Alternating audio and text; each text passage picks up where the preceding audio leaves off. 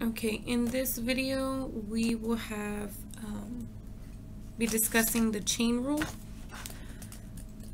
Now the chain rule states that if you have a function of a function, so you basically have a composite function, um, where you have a function of x inside an outer function, then the way you take the derivative of a complex function is you take the derivative of the outer function and you keep the inner function the same and then you multiply by the derivative of the inner function okay?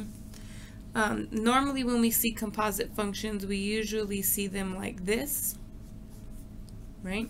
Where the function f is the outer function and the function g is the inner function.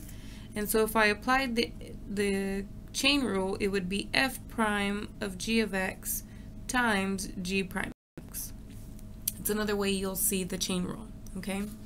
So, for instance, this first example here, it says g of x is 2 parentheses 5 minus 9x close parentheses raised to the fifth power.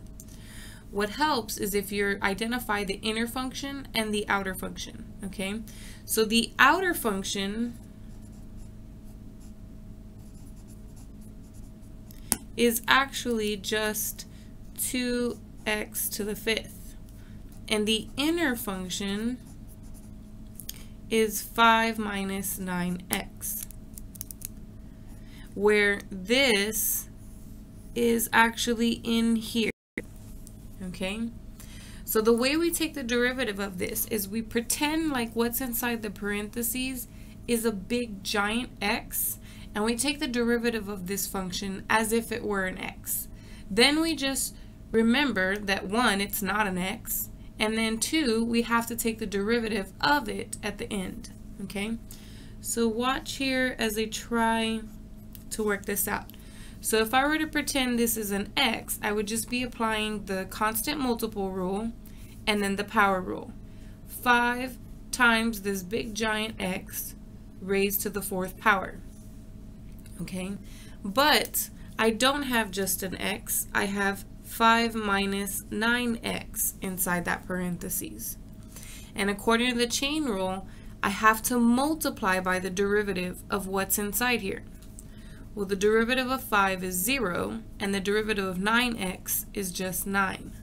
So what I really have here is 2 times 5, 5 minus 9x times negative 9. Or I can multiply the 2, the 5, and the negative 9 together and get negative 90 times 5 minus 9x.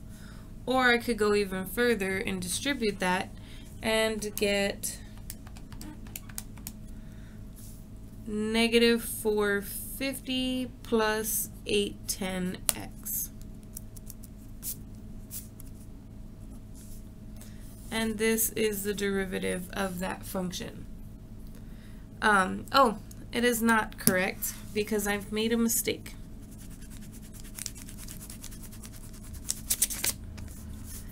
If you recall, this 5 minus 9x had a fourth power on it. So I can multiply the coefficients in the front, giving me a negative 90. However, I do still have this term raised to the fourth power. Therefore, I cannot distribute the negative 90. You always have to apply exponents before you can apply multiplication. And I'd rather leave that in its current form than to try to expand that out to the fourth power. Okay, example number two. So again, identifying the inner and the outer functions. The inner function is what's inside this parentheses here, x squared minus 1. The outer function would be as if the x squared minus 1 were just big giant x. So it's like the cube root of this big giant x squared. Okay. Now I'm going to rewrite that as a big giant x to the 2 thirds power. So really I could rewrite this function without taking the derivative, just rewriting it as 2 to the third power. So when I go to try to take the derivative of this function, because it does have an outer function and an inner function, I do need to apply chain rule. So I'm going to pretend like it's like this. However, I know it's not x to the 2 thirds. It's actually x squared minus 1 to the 2 thirds.